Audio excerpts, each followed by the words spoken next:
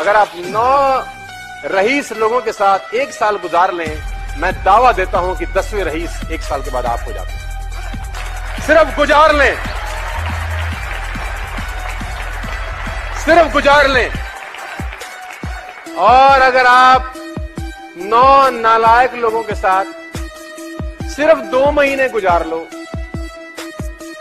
पाँच हज़ार percent guarantee है दसवें नालायक आपको।